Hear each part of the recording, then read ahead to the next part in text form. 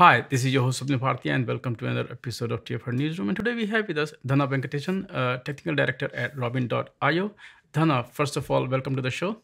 Hi, Swapnil. Like, uh, thanks, thanks for having me on the show. Now, if I'm not wrong, Robin has also uh, released the uh, a new version of Cloud Native Storage for Kubernetes. Earlier, it was available only on a certain cloud. Now you are uh, bringing it across uh, other clouds. So first of all, tell me uh, a bit about this new release and what all platform you're supporting with it. In this current release, like uh, we are supporting all Kubernetes based platforms. Like we are supporting it both on-prem as well as on on the clouds.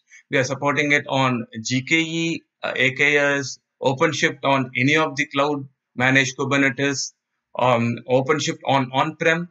Um, so this is we we really and we are supporting all workloads like irrespective of uh, uh, what kind, what category of uh, thing some simple applications, simple databases to very complicated like like very distributed applications. So our what we are saying is that like our cloud native solution is now available on all platforms, all Kubernetes based platforms, as well as for any workloads. Can you also talk about, uh, I mean, of course, there is support for a lot of other platforms, but have you added any new feature or services which were not available earlier? In the latest release, like we have, uh, we have enabled data management for Helm charts. As you know, Helm is the most popular package manager and deployment mechanism on Kubernetes.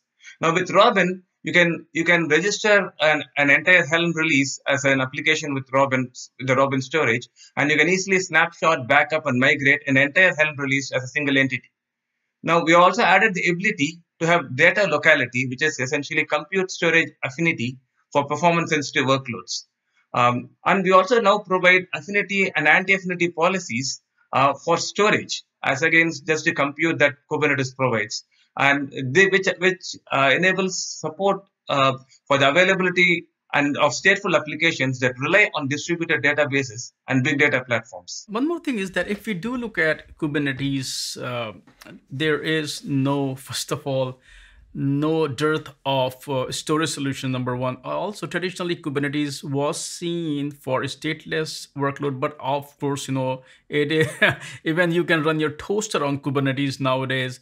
So stateful is going to become a really big piece there so first of all talk about in this crowded storage space on kubernetes how are you trying to differentiate yourself that is one piece of the puzzle. Number two is that people go for multi-cloud hybrid cloud. You do support all platforms as you said but how do you enable these two things and also trying to differentiate yourself? So uh, uh, that's a very good question right? So because one there is a, there are a lot of, uh, of CSI based storage solutions available for kubernetes. But not that like kubernetes was originally designed for stateless applications such as web apps which have no persistent data Whereas like many enterprise applications nowadays, they are all they are like uh, persistent stateful applications like databases or like um, data processing applications, right? So when you try to run such stateful applications with their associated data on Kubernetes, you need a storage solution that under that understands Kubernetes constructs so that it can seamlessly integrate the orchestration of the storage resources the application needs along with the compute orchestration that Kubernetes does, right? And not only that, like Kubernetes also manages the life cycle of these operations. But when when the life cycle of the op operations of the applications happen for the compute, the data of these applications also need to be managed. So to do all of this, we need a, a storage stack that is that understands these Kubernetes constructs and also integrates seamlessly with them. Robin Cloud Native Storage for Kubernetes, or Robin CNS, uh, does this in a very simple and intuitive way. Like we understand these applications and we are able to uh, let the users talk in terms of uh, applications, uh, application and application storage instead of talking about individual data volumes. We recently did a round of predictions, and of course, we had Robin.io also. There, one thing that is becoming very, very clear is that data is going to become really, really critical, and also uh, people will want ownership over data because they really do not want to be logged into one cloud vendor because they want to leverage uh, different cloud providers you know that is why you are also supporting different platforms how do you see things, especially in the data storage space, things will evolve, which will also reflect in the roadmap of you know cl- your cloud native uh, storage platform? So, can you talk about the evolution of storage, not only from Robin's perspective, but in general, what you see in this space as well? Nowadays, like for example, in when when telecom operators move to five move to 5G, they want to deploy cloud native uh, telecom solutions, right? And they are looking at Kubernetes. Uh, that is where I think you we are getting to the edge computing and the edge solutions, right? And the other places like there are a lot of uh, lot of companies are looking to move their AIML workloads onto Kubernetes, right? And these AIML workloads have a lot of data which they have to process for their uh, for the for the machine learning and the artificial intelligence thing, right?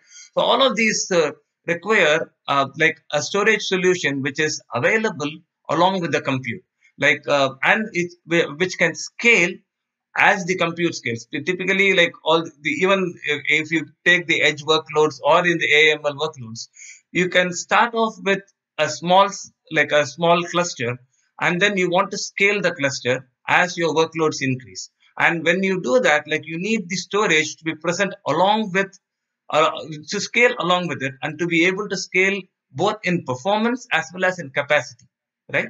So for that, you need a you need a cloud native solution which uh, which not only which which which understands Kubernetes, which also says that okay, hey, so I my compute is running on these portions of the cluster, so my storage should be preferably located closer to the compute, right? And that is how because that is how Kubernetes was originally designed. If the if you have to uh, make your storage available from a from uh, from a distant location or which is not local to where the compute is present, uh, that makes the, the entire application workflow very cumbersome because the application performance starts to degrade. And that is one part. The second part is even when all these applications are running either on the edge or on the or on or on uh, running on these specialized AIML workloads, the uh, the application still need these enterprise features like snapshots, ability to take backups of good states and to be able to restore when when the when the nodes fail right? Or to handle automatically handle things like uh, hardware failures and like hardware refresh cycles. So all of these require a, a storage solution which is like tightly integrated with kubernetes and is able to uh, understand what Kubernetes is doing, and so be able to support the applications with their storage needs. And this is kind of also uh, what off, uh, Robin is also offering with the, its uh, storage solutions, something similar to to cater to some of these use cases. Right. So uh, the the Robin Robin Cloud Native solution does all of these things because uh, what we what we do is that like we allow for applications to specify that my hey my, I am I am running on the edge, so I need my my compute and my storage to be present in the same node.